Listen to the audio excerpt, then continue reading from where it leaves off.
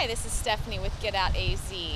Movies are a great thing to go see in the summer, but if you have babies or young children, it can be kind of difficult to get out of the house. Ultrastar Cinema's got that solved with their Babies Night Out every Thursday evening at the Ultrastar Pavilions at Scottsdale. Tickets start at $5.50 and they show movies that you might actually want to see, like Man of Steel or um, Fast and Furious. So check it out and uh, take the baby and have a good night.